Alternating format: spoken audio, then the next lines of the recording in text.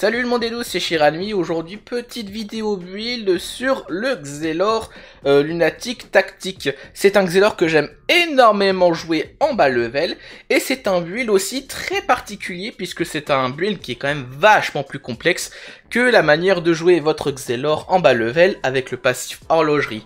Et surtout, même si c'est un petit peu plus dur, ce Xelor là, ce build de Xelor là va aussi vous permettre d'apprendre en mieux toutes les mécaniques du Xelor en profondeur et va vous permettre à plus tard au THL de vraiment maîtriser, je pense, au mieux toutes les petites micro-mécaniques du Xelor et ainsi être peut-être l'un des meilleurs Xelor du jeu finalement.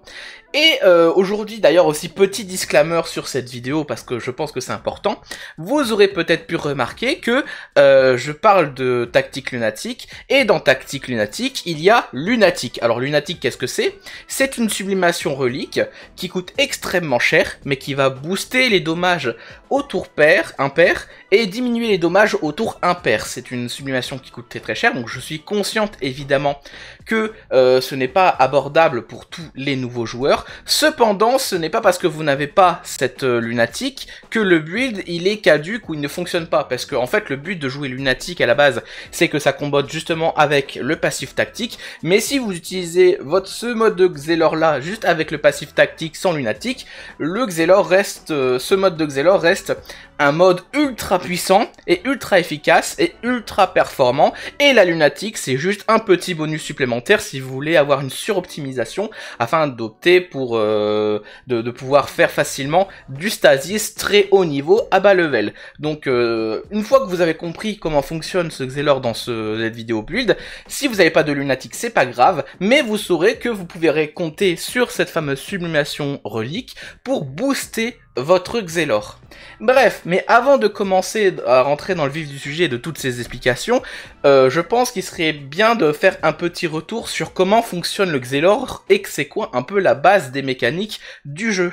De ce fait, pour comprendre comment fonctionne le Xelor, il est important aussi de comprendre comment fonctionne le cadran, parce que c'est le cadran qui fait un peu le sel du Xelor. Si vous comprenez comment fonctionne le cadran, vous comprenez comment fonctionne le Xelor, et si vous savez comment fonctionne le Xelor, vous êtes un bon Xelor. Si vous ne savez pas, maîtriser le cadran, bah à l'inverse, vous ne serez pas un bon Xelor. Et pour ça, je vais revenir un peu en détail sur comment fonctionne le cadran, pour que vous compreniez un petit peu plus que bah, justement le Xelor dépend énormément de son cadran pour faire des dégâts pour son déplacement, etc. etc. Donc pour ça, on se retrouve sur le sac à patates. Et du coup, qu'est-ce que c'est le cadran eh bien, c'est un sort euh, qui se place sur votre troisième barre de sort. Donc, vous n'avez pas à le placer dans votre deck de sort, ce sera automatique. Ce sera placé avec votre vol du temps qui va permettre de convertir euh, des, points de Wakfu en points d'action. Et la distorsion qui va ajouter des dommages supplémentaires à vos euh, sorts élémentaires pour qu'un point de fou. Et donc le cadran, qu'est-ce que c'est? C'est une entité que vous allez pouvoir placer sur le terrain et qui va faire apparaître, vous voyez ici, des sortes de petites cases avec euh, des heures. Il faut s'imaginer ça comme une sorte d'horloge. Et le but du cadran, et en fait il va être euh, multiple. Déjà la première chose intéressante à faire avec le cadran, c'est pour déplacer le Xelor. Le Xelor, lorsqu'il est sur une case euh, heure, comme ici, il peut se déplacer sur une autre case heure, comme ça en se téléportant pour un poil Wakfu. Donc ça vous permet de facilement vous déplacer d'une case à une autre. Donc euh, un moyen de déplacement très utile. La deuxième chose, et vous aurez peut-être pu constater, c'est que sur le cadran, il y a une sorte d'aura qui est sur, le, sur certaines cases heure. Et ça, c'est ce qu'on appelle euh, la case heure courante. La case heure courante, elle va avancer euh, dans le sens horaire sur le cadran en fonction du, nombre de points de walkthrough que vous utilisez sur votre Xelor. Par exemple, si j'utilise un point de walkthrough pour me déplacer sur le cadran, vous voyez que euh, la, case heure courante a avancé d'une case. Si par exemple j'utilise un dévouement qui coûte 4 points de Wakfu, eh bien l'heure courante va euh, avancer euh, de 4 heures. Tout simplement. Donc en fait, ça va avancer d'une heure en fonction des points de Wakfu que vous utilisez. Aussi, l'heure courante, lorsque vous êtes... À quoi il sert Tout simplement, si vous êtes sur la case heure courante... Hop, je le montre ici je vais le refaire, hop. Si vous êtes sur la case heure courante durant votre tour, ou lorsque vous faites des dommages élémentaires en étant sur votre case heure courante, vous allez euh, faire 50% de dommages infligés supplémentaires. En revanche, si vous commencez votre tour sur l'heure courante, vous allez choper un état qu'on appelle euh, la ponctualité. Par exemple, ici, je termine mon tour sur euh, l'heure courante, et lorsque je commence mon prochain tour, vous allez voir que je vais choper un état ponctualité qui va booster de 50% les dommages infligés, et cette fois-ci, quelle que soit votre position, que ce soit sur le cadran ou pas sur le cadran. Et euh, à la place, lorsque vous êtes sur leur courante durant votre tour, là vous ne gagnerez pas 50% de dommages infligés supplémentaires, mais seulement vous gagnerez euh, 2 PO. Donc ça vous permettre de faire des dommages très facilement. Et du coup vous comprendrez que euh, plus facilement vous avez la ponctualité, plus vous faites des dégâts aisément euh, avec le Xelor. Donc le but du Xelor, ça va être de choper les bonus euh, et dont cette fameuse ponctualité, en plus de pouvoir convertir des points de Wafu avec le vol du temps et le dévouement par exemple. Mais aussi, le fait de faire un tour complet du cadran avec l'heure courante va activer plusieurs effets. D'ailleurs, le premier effet, c'est bah, justement de booster votre distorsion. En gros, lorsque vous faites un, un, tour complet du cadran, vous allez euh, choper un petit euh, token sur euh, le centre du cadran. Vous voyez ici le petit aura jaune qui, est ici. En fait, ça correspond au nombre de tours que vous avez fait avec le cadran avant d'utiliser distorsion. En fait, ce sont tout simplement des stacks de distorsion. Plus vous faites de, tours du cadran, plus vous stackez du niveau de distorsion et que vous consommerez lors de votre prochaine utilisation de la distorsion. Donc en fait, par exemple, si vous voyez ici, j'utilise la distorsion alors que j'ai un niveau supplémentaire, je vais avoir une distorsion qui va faire du 10. Et en revanche, si j'ai pas de de, de, euh, de token de supplémentaire de distorsion, si je relance distorsion sans token, et ben là vous voyez que je suis à 7. Et en fait, chaque niveau de distorsion supplémentaire stocké dans le cadran en faisant des tours complets va vous permettre euh, de booster de 50% les dommages infligés avec la distorsion. Et euh, c'est un stack qui peut aller jusqu'à 4 ou 5, si me... jusqu'à 200% maximum de infligé supplémentaire, donc jusqu'à jusqu'à 4 niveaux de distorsion supplémentaire. Mais aussi faire un tour du cadran, ça va vous permettre aussi d'activer un passif sur le Xelor qui s'appelle le maître du cadran et qui sera vraiment un must-have sur votre Xelor si vous voulez être efficace et je vais vous expliquer pourquoi.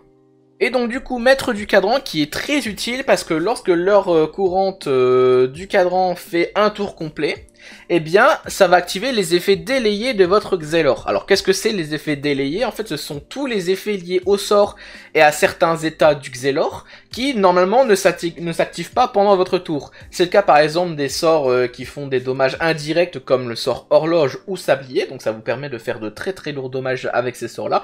Mais euh, aussi, ça marche aussi sur des sorts euh, auxquels on s'attend le moins, notamment le sort dévouement, ainsi que sur l'état euh, qu'on avait vu euh, lorsque vous commencez votre tour à la case heure courante, l'état euh, ponctualité. Alors par contre, il y a deux petits trucs à respecter pour faire fonctionner mettre du cadran sur dévouement et ponctualité. C'est que dévouement, à la base, dévouement c'est pensé pour que vous récupériez 3 PA max si vous l'utilisez sur vous le tour prochain, mais lorsque vous allez activer mettre du cadran, bah justement ça va vous donner les 3 PA directement durant votre tour. Euh, dès que vous lancez euh, ce tour-ci. Mais pour ça, il faut que dévouement soit lancé bien avant euh, que vous faites le tour complet du cadran. Par exemple, si vous faites un tour vous finissez votre tour complet avec dévouement, ça va pas marcher. Il faut que le dévouement soit activé bien en amont de l'activation du tour complet et de mettre du cadran. Et aussi, la ponctualité aussi, c'est un très particulier à utiliser avec le maître du cadran, parce qu'il s'active avec maître du cadran seulement si, lorsque vous faites un tour complet un tour complet avec l'heure courante, le Xelor se trouve sur la case exacte où euh, l'heure courante euh, va être lorsque vous faites le tour complet du cadran. Donc c'est un peu technique à utiliser, mais du coup, avec maître du cadran, ça va vous permettre de choper très facilement la ponctualité, euh, le dévouement et une distorsion niveau 2 dès le tour 1. Donc du coup ça va être très utile avec le passif dans, dans le build que je vais vous présenter aujourd'hui avec le passif tactique, évidemment, parce que le passif tactique va vous permettre de faire des dommages supplémentaires euh, en tour pair, impair, mais euh, des dommages euh, dommages moindres en tour impair. Donc du coup, on va essayer de faire en sorte de choper un maximum de dommages avec le tactique, avec le lunatique qui combote avec le tactique pour avoir jusqu'à 45% de dommages infligés dès le T1 et au T3. Et avec mettre du cadran, proc le plus rapidement possible le dévouement, le distorsion T2, ainsi euh, que le, fameux euh, ponctualité pour faire un maximum de dégâts en T1 et un maximum de dégâts aussi en T3. Et pour ça, du coup, on va devoir consommer énormément de points de fou, évidemment, mais aussi on pourra s'aider pour avancer euh, le cadran euh, lorsqu'on est vraiment bas level du sort des synchronisations qui va permettre de faire avancer euh, l'heure courante du cadran de 6 cases de, bah, de 6 heures pour seulement 2 PA. Du coup, vous aurez compris que c'est un mode de jeu où vous allez burst au tour impair et essayer de préparer euh, votre Xelor au tour pair. Donc en faisant pas de dégâts. Donc c'est vraiment un mode de jeu totalement burst et pas un mode de jeu où vous allez genre euh, taper euh, de manière linéaire durant votre combat. Alors, pour vous montrer un peu comment on va faire pour facilement choper la ponctualité, le dévouement et la distorsion T2, T1 sur le Xelor, je vais vous montrer ça sur le putsch, les combos à faire. Alors, pas alors vous commencez votre combat, normalement dans le build que je vais vous présenter, vous êtes en 12 PA et 12 euh, points d'info. Mais là, comme je joue avec euh, euh, un stuff modulé automatique pour vous montrer un peu le concept et les combos, j'ai pas de stuff à vous montrer, donc les dégâts vont pas être si ouf que ça, mais c'est juste pour vous montrer comment ça marche. Alors vous avez votre Xelor, tout simplement, voilà, votre Xelor, vous commencez le T1, vous chopez du coup la tactique avec les 20% de dommages infligés. Si vous êtes lunatique, vous chopez 25% de dommages infligés. Et là, le but, ça va être justement de choper le la ponctualité, le dévouement, le T1, ainsi que la distorsion T euh, niveau 2 T1. Pour ça, on fait simplement, on pose le cadran, tout simplement. Ensuite, on fait une désynchronisation sur le cadran pour avancer le cadran de 6 cases, s'il veut bien, voilà. On se met sur la case 4, euh, on fait le dévouement, on fait le vol du temps pour récupérer un poids d'action. Et là, lorsque je fais la distorsion, je vais avoir la distorsion niveau 2 avec le proc de dévouement qui va s'activer pour euh, contrebalancer le prix euh, euh, du, du de la désynchro ainsi que du cadran. Et après, bah voilà, vous voyez que j'ai aussi la ponctualité. Ensuite, je peux me déplacer où je veux sur le cadran et faire des dégâts tout simplement. Hop, tac, tac, je fais des dégâts, je fais des dégâts, je fais des dégâts. Et ensuite, en T2, ce que vous faites, bah, c'est très simple. Vous faites un petit vol du temps et vous, vous vous replacez euh, sur l'heure courante. Ainsi, en T3, bah, tout simplement, c'est reparti mon kiki. Sauf que là, vous balancez en début une distorsion. Vous avez déjà euh, un dévouement parce que... Euh, un dévouement, pardon. Vous avez déjà la ponctualité parce que vous avez déjà commencé votre tour sur l'heure courante. Vous faites un petit vol du temps pour faire un tour complet du cadran. Et ainsi, vous pouvez profiter du fait que vous avez un niveau supplémentaire pour rebalancer une distorsion et là, vous pouvez retaper euh, un maximum de, dommages durant votre T3. Et puis, euh, bing bam boum, la fête est finie. Et la fête est folle, quoi. Et admettons que votre cadran, pour le T3, il est détruit. Vous dites, ah bah c'est dommage, je vais pas pouvoir choper euh, la ponctualité, et peut-être que le dévouement, ça va être plus difficile de le passer. Et bah pas de panique, on a toujours maître du cadran, donc en T3, on a toujours moyen de choper la fameuse ponctualité, le dévouement directement dans le tour, ainsi qu'une distorsion T2. Pour ça, c'est très simple. Je me pose, euh, je pose tout simplement mon cadran, tac. Là directement, je fais un petit dévouement. Ensuite, avec mon petit dévouement, je fais une petite désynchro. Cette fois-ci, au lieu de me placer sur la case 4, je me place sur la case 2.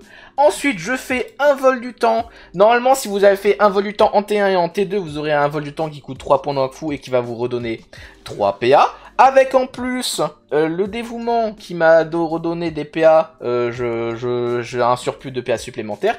Et vous pouvez récupérer une distorsion qui sera T2, niveau 2. Et donc là, voilà, j'ai euh, la ponctualité, j'ai tout ce qu'il faut pour faire le maximum de dommages dans la tronche des ennemis.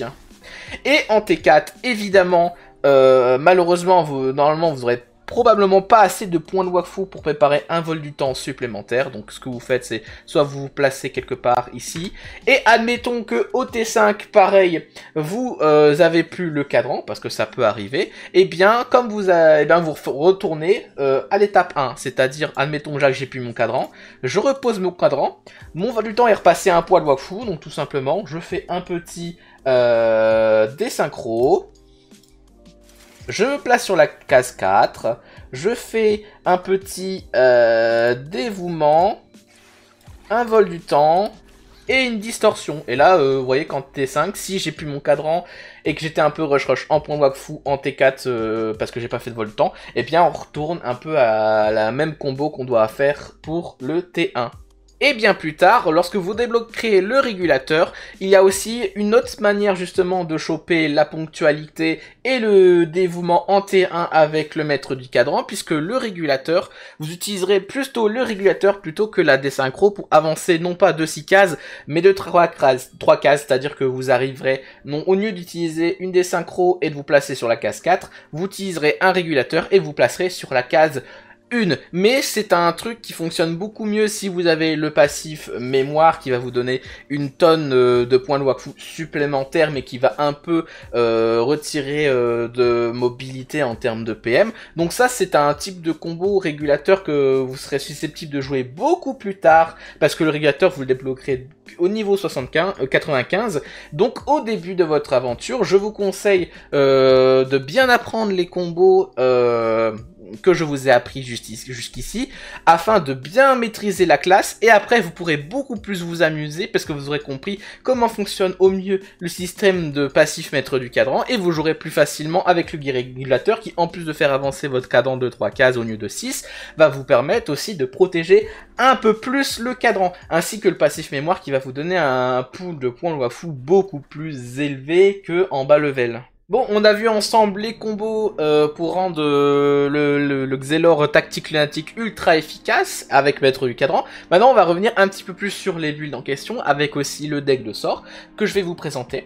Alors déjà, on va jouer tous les sorts feu. C'est quasiment un must-have lorsque vous jouez euh, Xelor tout simplement parce que avec les sorts feu, vous avez des sorts excellents comme la fameuse aiguille qui va être remboursée lorsque vous tuez un ennemi. Donc très très utile pour faire des économies de PA et par conséquent faire aussi des économies de points de Wafu, puisque je vous rappelle que lorsque vous terminez votre tour avec euh, un peu de, de restant de points d'action sur votre Xelor, les points d'action qui restent euh, sur votre Xelor en fin de tour sont reconvertis en points euh, de Wakfu. Donc aiguille ça permet de faire des dégâts colossaux puisque ça vous allez regagner facilement les PA que vous allez claquer. Mais en plus de ça, bah, vous pourrez faire aussi du coup des économies de points de Wakfu en fin de tour. Et aussi bah, c'est utilisable deux fois par tour. Pareil pour la suspension. La suspension elle va faire euh, servir à faire des dommages très corrects pour 4 PA deux fois par tour.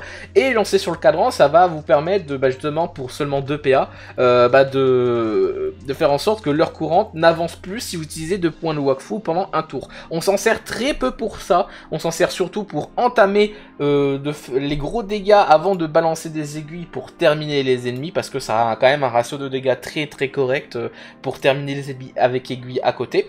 Mais une autre manière aussi de, bien entamer les ennemis et de bien faire de gros dégâts sur les ennemis euh, en zone, c'est le fameux éclair obscur qui va vous permettre de faire des dégâts très corrects sur la première cible, mais des dégâts colossaux sur la deuxième, 60 hein, pour 5 Euh, au niveau 65 c'est énorme, et du coup après vous pourrez facilement euh, terminer avec une aiguille les mobs en question. Ensuite on a notre sort de feu qui est très utile, on la perturbation qui va faire un peu de zoning en ligne en fonction de votre heure courante, et le poussière qui coûte 3 PA et qui va permettre d'avoir un sort sans ligne de vue, donc très utile pour euh, justement chercher euh, des ennemis derrière des obstacles. On a évidemment dans le deck de sort la désynchronisation pour avancer le cadran de, 6. On joue en termes de sort haut aussi le petit marteleur qui peut être très utile, euh, qui peut faire de, très bons dégâts, mais pour ça il faut être un peu aligné, mais c'est pas bien grave parce qu'on a capacité, vu qu'on joue pas avec mémoire, on n'a pas une baisse de PM, donc on peut très facilement se déplacer très facilement avec nos PM et euh, du coup être facilement aligné avec les, ennemis. On a aussi une petite, un petit ralentissement, on s'en sert très très peu. Ralentissement, vous pouvez le remplacer par horloge qui marche très très bien du coup de la même manière que sablier. En gros, le but de horloge et sablier, comment vous allez l'utiliser, c'est-à-dire au lieu de par exemple, euh, lorsque vous préparez votre combo, au lieu de préparer votre combo pour booster, pour booster justement le Xelor avec euh, bah, justement la ponctualité maître du cadran et euh, dévouement qui proc durant votre tour avec la distorsion T2, vous allez appliquer d'abord le sablier ou l'horloge, et avec passif maître du cadran, lorsque vous le tour complet euh, du cadran, et eh ben ça va appliquer les effets de sablier et ça va faire des dommages vraiment énorme, hein, vraiment, quand vous faites du sablier ou horloge, ça fait vraiment des dégâts très très très puissants. Mais ça, c'est à faire, euh, ce sort-là, euh, avant de faire votre combo où vous préparez votre ponctualité euh, et votre, votre dévouement, etc., etc. Donc un combo qui marche très très bien lorsque le cadran n'est pas mort. Évitez de l'utiliser lorsque vous devez replacer le cadran durant votre tour. Euh, mais si vous avez encore votre cadran, sablier et euh, horloge, à la place par exemple de, ralentissement, c'est vraiment excellent. Même si ralentissement peut être très très cool parce que ça va retirer très facilement de la DPA euh, aux ennemis. Et évidemment, on joue le dévouement pour bah, justement notre fameux combo qui nous permet d'être ultra efficace en T3 en T1, en T3, en T5, en T7, etc. Et euh, en dernier, euh, j'ai mis un petit contre la monte. On s'en sert très peu, je m'en sers très peu, mais ça va être très utile parce que ça vous permet de facilement vous replacer pour 2 PA euh, durant votre tour, votre tour impair, si vous voulez pas utiliser trop de points de Wakfu. Et ensuite en passif, on joue évidemment le fameux maître du cadran, qui nous permet de, de proc le dévouement et bah, la ponctualité en T1 le tactique évidemment, pour qu'on va comboter avec euh, la sublimation épique et relique lunatique, et en dernier, on met connaissance du passé, qui va avoir plusieurs effets. Déjà, connaissance du PC, ça va vous faire gagner 2 euh, PA euh, durant votre tour donc ça va vous permettre de soit facilement préparer un contre la monte, ou si vous avez besoin de caler une des, des synchros durant votre tour impair, durant votre tour pair pour préparer un combo en T3 ou en T5, ça va vous permettre d'avoir une désynchro gratos. Mais en plus de ça, ça va vous permettre euh, d'avoir suffisamment de pool euh, de PA euh, lorsque vous êtes en T2 pour que si vous avez besoin de mettre un petit peu de, de points d'action dans votre stuff, de pouvoir récupérer tous vos points d'action dès le T3 pour pouvoir euh, comboter avec une sublimation euh, supplémentaire qui coûte vraiment pas trop cher par contre et qui va booster de 20, pour, 20 coups critiques euh, votre Xelor et c'est ça qui nous permettra d'atteindre facilement les 67% de coups critiques sur le Xelor. En aptitude, on met full résistance élémentaire, full point de vie. En force, on met full maîtrise distance. En agilité, full esquive, on n'a pas besoin d'initiative pour, pour jouer en premier. On peut mettre un peu de volonté aussi si vous jouez des sorts euh, comme le fameux euh, marteleur. Et même si vous pouvez utiliser la désynchro aussi euh, en zone pour retirer des pas, c'est aussi très très cool. Donc vous pouvez mettre soit full esquive, soit full volonté. En chance, on met euh, full coup critique pour avoir un maximum de coups critiques. De toute façon, dans les dans stade de chance, il n'y a pas énormément de choses qui, sont soient très intéressantes euh, euh, pour le Xelor, mis à part la stade de coups critiques. Et en majeur, je mets un poids d'action. Et au niveau du stuff, on met, si c'est possible, un Gelano pour mettre facilement une lunatique dessus et avoir une lunatique qu'on peut utiliser sur le long terme. Parce que si vous le calez sur une autre relique qui est un petit peu plus remplie plus remplaçable au fil du temps, bah vous les dépenses sur les lunatiques risquent d'être un petit peu salées. Donc moi je vous conseille de directement si vous jouez avec une lunatique de mettre un petit Gilano, c'est un, relique que vous allez conserver très longtemps, et comme ça vous mettez une lunatique dessus et vous êtes tranquille. On joue avec du coup un anneau insensé qui met de la maîtrise feu, parce qu'on tape généralement avec euh, nos sorts feu. On met du coup en termes d'items un maximum euh, d'items avec de la maîtrise distance, donc avec la coiffe sanglante, la note cocollier qui donne en plus, euh, non j'allais dire qui donne de, la portée mais qui donne des coups critiques donc c'est très très cool. Le plastif qui donne pas énormément de maîtrise mais qui donne facilement un PA en contre du tacle et de l'esquive qu'on n'a pas vraiment besoin donc plastif c'est très très cool. Pédatrice, pareil, une maîtrise distance. La cape sanglante, pareil, maîtrise distance. La salbatriette, aussi maîtrise distance avec pas mal de coups critiques que vous, remplacez, pouvez remplacer avec un autre item, donc euh, les, de cire, enfin les, épaulettes de cire-mort ankylosées qui sont vraiment beaucoup plus fancy mais qui vous donnent beaucoup moins de coups critiques et qui sont un peu plus chers. Donc vous pouvez mettre très facilement Salbalétriette dessus, c'est très cool.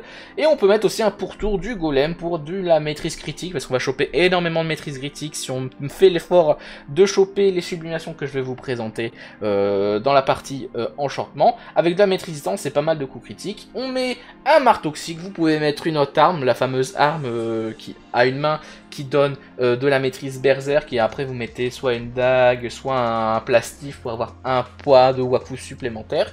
Et après en, termes de, familier, bah, vous mettez... Euh, moi j'aime beaucoup bébé panda parce que ça monte les maîtrises critiques et maîtrises distance, mais si vous pouvez choper un autre euh, familier qui donne de la maîtrise distance ou de la maîtrise critique au choix, et eh ben c'est tout bienvenu. Et en emblème on met un petit emblème du Xelor qui donne un peu de coup critique, c'est très cool. Et en termes d'enchantement, eh bien, il y a une sublimation que je voudrais énormément vous que je voulais vous présenter, c'était l'influence de Wakfu.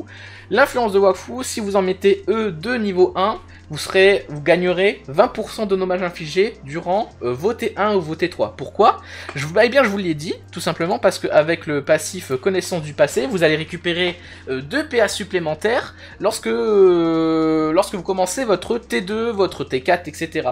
Donc du coup, vous avez un pool plus large de PA euh, qui vous permet justement de pouvoir avoir soit des points de Wakfu supplémentaires sur votre stuff euh, qui va vous permettre avec le nombre de PA que vous allez récupérer euh, durant votre T2 qui vont être convertis en fin de tour du T2 de récupérer très facilement le maximum de points de Wakfu sur votre Xelor ou tout simplement avoir comme je le disais une des synchro gratuites ou une contre-la-montre gratuite. Donc du coup vous avez constamment en T1 en T3, en T5, en T16 au début de votre tour, le maximum de pool de points de Wafu qui est disponible sur le Xelor euh, actuellement. Donc par exemple, là vous commencerez avec 12 points de Wakfu, vous êtes au maximum, vous allez proc les, les, sublimations influence du Wakfu, et vous allez récupérer très facilement 20% de coups critiques, et donc du coup on peut arriver avec un stuff euh, avec ce stuff actuellement à 67% de coups critiques, c'est-à-dire euh, une deux chances sur 3 de faire un coup critique, ce qui est énorme pour le niveau, donc vraiment très très cool de mettre des influences de Wakfu, surtout que ça se récupère très facilement et ça coûte très peu cher, et sinon en termes d'enchantement classique, on peut aller mettre par exemple des maîtrises distance euh, sur euh, là où on peut, notamment si possible sur la ceinture et sur l'arme. On joue, euh, on cale aussi des maîtrises distance peut-être sur là où on peut, par exemple sur le casque avec un pool de points de vie pour mettre influence de Wakfu. Enfin, avec une chasse de points de vie pour mettre influence de Wakfu.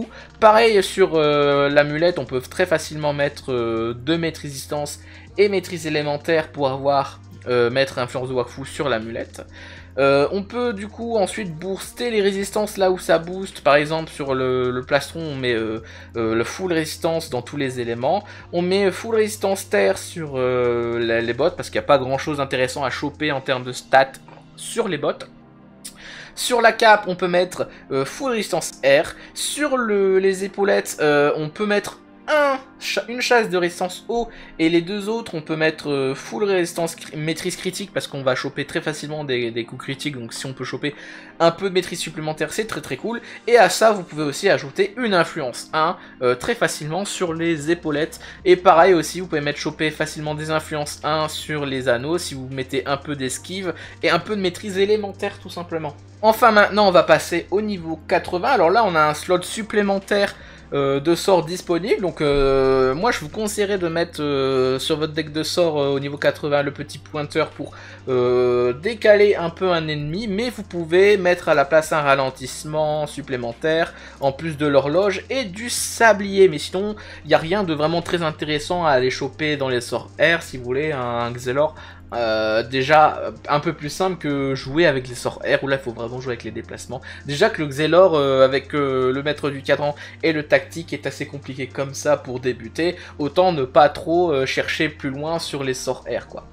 Et en termes d'aptitude, bah pareil rien ne change, on met full maîtrise, full résistance élémentaire et full point de vie en intelligence. En force on met full maîtrise distance. En agité, pareil, soit mettez full volonté pour jouer avec le ralentissement, soit full esquive. En chance, on met full coup critique. Et en majeur, là, avec le stuff qu'on va faire actuellement, on peut mettre euh, un point d'action et un point de mouvement, ce qui va vous permettre d'être en 12-6 très facilement. Et ensuite, euh, en enchantement et en stuff, là il va y avoir quelques petits changements qui se coûtent pas trop cher, qui sont très utiles, notamment l'amulette lunaire, qui est une très bonne amulette pour le Xelor, le plastron de Sar aussi, qui est très très cool en remplacement du plastif. On garde évidemment notre anneau sensé et notre Gelano pour conserver la lunatique le plus longtemps possible si on a lunatique. Cette fois-ci, on peut changer l'arme pour avoir une toxi piquante. Alors vous pouvez jouer si vous voulez... Euh, si vous jouez euh, une toxie piquante, vous pouvez virer la vrille pour essayer de caler une ou deux experts en armes légères dans le stuff, mais vous allez voir que mettre une petite dague pour booster les coups critiques, c'est toujours sympathique. On ne change pas les, familiers, donc on peut garder le même familier qu'on a. On peut mettre, garder l'emblème de Xelor, même si on peut mettre un emblème de Bonta si ça vous intéresse. Et après le reste, bah, ça va être bah, du boîte de Tsar, donc maîtrise distance sur deux éléments. La cape de Tsar, avec de très très bonnes maîtrises critiques, et enfin de très très de très bons coups critiques sur la cape. Ça va vraiment booster au max les coups critiques. Un renfort du croix à pull qui va donner aussi pas mal de coups critiques sur des épaulettes, ainsi que très bonne maîtrise distance, ainsi que de très bonnes résistances. Et le pan du Grand Auroch qui est un peu dur à échoper parce que Grand Auroch c'est pas un donjon très facile euh, en début de jeu à faire, mais qui va, vous permettre de choper euh, 2% de coups critiques supplémentaires et de maîtrise sur des éléments, deux éléments euh, aléatoires. Donc là on va essayer de chercher le feu haut, ainsi que de très bonnes résistances. Mais si vous voulez garder le pourtour du golem parce que c'est trop, chiant à aller chercher le pan du Grand Auroch, et eh ben gardez le pourtour du golem. Et le petit truc aussi, vous pouvez aussi aller chercher un petit Dora Marabouf, euh, c'est euh, un, item que vous avez gardé assez longtemps, Adora Marabouf, parce que c'est un truc qui donne un portée supplémentaire, donc ça c'est très très cool. Pas mal de maîtrise euh, distance supplémentaire et vraiment beaucoup de maîtrise distance, ainsi que pas mal de bonnes résistances. Et en termes d'enchantement, bah c'est pareil, on essaye de choper un maximum de maîtrise distance sur l'arme et sur la ceinture. Ceinture même si malheureusement je n'ai pas plus calé que deux résistance feu. Mais si vous faites ça et que vous arrivez à caler deux résistance feu et de, une chasse de maîtrise distance. Vous pouvez facilement caler, si vous êtes sur Pandora, une influence vitale, bien évidemment, si vous avez les Kama pour une influence vitale, parce que ça coûte un peu cher les influences vitales, c'est vrai. Mais sinon, on garde toujours euh, deux chasses distance et un point de vie euh, sur euh, les casques et les amulettes pour mettre les influences de Wakfu et monter très très haut les coups critiques. On peut mettre des petites influences sur les anneaux qu'on a, qu'on a gardés, donc finalement on n'a pas vraiment changé les influences qu'on avait déjà, mais sur les épaulettes, on peut rajouter des influences pour avoir maîtrise critique et euh, résistance haut sur euh, les épaulettes, et esquive et euh, maîtrise élémentaire sur les anneaux, qu'on conserve évidemment. On booste les résistances là où on peut, par exemple sur le plastron, on essaye de choper un maximum. On a double résistance haut, parce que justement on manque un peu de résistance haut sur ce stuff. Et évidemment, on met maximum de résistance terre sur les bottes parce qu'il n'y a rien de réellement intéressant en termes de double enchantement, de stade d'enchantement sur les bottes. Et full maîtrise élémentaire sur la cape, même si vous pouvez mettre résistance R. Mais bon, vu qu'on a énormément de résistance R déjà de base sur le stuff, je me suis dit, allez, on va mettre full résistance élémentaire, comme ça on calibre un peu les résistances et on est très très bien. Et là pareil, rien ne change fondamentalement, alors vous pouvez remplacer le ralentissement par le régulateur que vous venez de choper, mais comme je vous l'ai dit dans la partie combo, le régulateur est plus intéressant si vous arrivez à mettre le passif mémoire à côté, parce que bon, bah, sinon le régulateur n'a pas énormément grand intérêt. Vous pouvez le mettre pour avoir facilement une protection supplémentaire sur votre cadran et avancer votre cadran de 3 cases, euh, mais sinon, bah, la régulateur, je trouve euh, pas si intéressant que ça à ce niveau-là, même si il y a quand même des choses hyper intéressantes à faire avec le régulateur sans le passif mémoire. En aptitude, on joue full résistance élémentaire, full point de vie. En force, on joue full distance, pareil. Pareil dans l'agilité, on met full volonté. Le reste en esquive ou full esquive selon ce que vous désirez. Et selon si vous avez euh, bah, le, ralentissement ou non. pardon, en chance, on met full coup critique et le reste en maîtrise critique. Et en majeur, on met PA, PM, tout simplement. Et en enchantement, bah là, il n'y a rien qui change. Et en termes de stuff, par contre, il y a beaucoup de choses qui peuvent énormément changer. On garde la toxipiquante parce qu'en armes, au niveau des 95, il n'y a rien d'intéressant. On garde notre gelano et notre anneau insensé. On garde aussi notre famille, évidemment. On peut garder notre emblème de Xelor ou l'emblème de Bunta. Et par contre, il y a quelques trucs que vous pouvez récupérer assez facilement, notamment le Scara de tronc doré pour avoir de très bonnes résistances élémentaires en plus d'avoir de très bonnes maîtrises distance avec la scarature dorée qui donne de bonnes maîtrises avec de très très bonnes coups critiques donc très utile à remplacer si vous n'avez pas encore obtenu euh, le pagne d'Oroc euh, au niveau 80 et on a aussi les Amincales qui sont très faciles à récupérer et qui sont euh, très très cool parce qu'elles donnent de bonnes coups critiques et de bonnes maîtrises élémentaires sur deux éléments avec de bonnes résistances. Et ensuite le reste des items que vous aurez que vous serez susceptible de choper pour euh, être un peu fancy, ça va être soit des items euh, que vous allez retrouver au, boss ultime 1000 donc un boss ultime qui est très facile à faire et que j'ai déjà présenté sur cette chaîne. Donc la fameuse sanguinaire qui donne des maîtrises critiques, un peu coup critique et de très bonnes maîtrises pour une dague. Avec les pattes de Milcar qui donnent un peu de parade, de, de bonne résistance et qui donnent juste de, très bonnes maîtrises. Avec les clochettes de Melou qui est un craft cette fois-ci, mais un craft excellent lorsque vous farmez euh, le Milcar. Donc euh, n'hésitez pas à essayer de vous crafter des clochettes de Melou. Euh, pour le Xelor, c'est très très cool. Et même pour des classes qui jouent pied élément, les clochettes de Melou, c'est très très cool. Et au Gliadiatroul, vous pourrez aussi choper facilement les perruques de Gliadiatroul qui vont vous donner de portée et de très très bonne maîtrise. Vous pouvez garder évidemment la Dora Marabout si vous avez droppé la Dora Marabout, mais si vous chopez une perruque de Goultard, bah c'est tant mieux. Que vous complétez enfin avec une petite natte de, natte de Gladiatroul qui va vous donner de très bonnes maîtrises avec de bons coups critiques. Avec par contre là les résistances. Et les résistances par sur la perruque de Goultard et sur la natte, je vous conseille de mettre les résistances en feu, eau et air, tout simplement. Et ensuite, en train d'enchantement, bah là pareil, ça ne change pas. Au niveau des anneaux, bah, comme on garde les mêmes anneaux, on garde les mêmes enchantements. Donc si on peut choper quelques petites influences 1 sur les anneaux, c'est cool. On peut mettre une influence sur les avancales euh, pour avoir euh, full coup critique et full résistance. On garde les influences de Wakfu pour la perruque de Gladiatroul et les clochettes avec deux maîtrises 10, deux chasses de maîtrise distance et un maîtrise euh, et un chasse de points de vie pour obtenir pas mal de points de, de coups critiques. Vous voyez qu'avec rien qu'avec les, les influences et euh, les influences de Wakfu. On a pas mal, on a un pool de, de coups critiques pour le niveau qui est excellent. On met full résistance sur euh, le plastron. Donc là, j'ai mis, euh, par contre, j'ai vraiment dosé pour avoir air, eau, terre et feu. Sur la, sur la ceinture, on peut mettre full maîtrise distance mais vous pouvez caler quelques petites résistances feu pour caler une influence vitale si vous êtes sur Pandora toujours. Sur la cape, la full maîtrise élémentaire et euh, sur les bottes, la full résistance terre, parce qu'il n'y a rien d'intéressant sur les bottes. Chose à savoir aussi sur ce build, si vous arrivez à choper une sublimation épique Maniement Dag, Maniement Dag va aussi très très bien dans ce type de build, parce que à partir du niveau 80, euh, vous allez aussi avoir très facilement euh, la toxie piquante avec une dague à côté. Donc vous pouvez caler très facilement une maniement dague. Et euh, une maniement dague, c'est une sublimation qui est très très cool lorsque vous êtes un personnage distance. Parce que lorsque vous êtes un personnage distance, vous n'avez pas forcément la possibilité de taper dans le dos. Donc une petite maniement dague supplémentaire si vous arrivez à en choper une. Et ça coûte beaucoup moins cher qu'une lunatique. Et ça fait honnêtement le taf à partir du niveau 80. Et voilà, c'est tout pour cette vidéo. Alors, un thé bourré en explications parce qu'il y a beaucoup de choses à comprendre sur ce Xelor. Mais j'espère que ça vous a plu et que ça vous a intéressé et que ça vous a donné envie aussi de jouer ce Xelor. Et si ça vous a plu, bah, n'hésitez pas à la partager, commenter et à liker, ça me ferait super plaisir. Et aussi à vous abonner pour ne rater des futures vidéos qui sortiront en 2024 et aussi dans les prochaines semaines, évidemment. Vous pouvez aussi rejoindre le Discord pour rejoindre la guilde sur Pandora, pour discuter de Wakfu, de Waven, etc.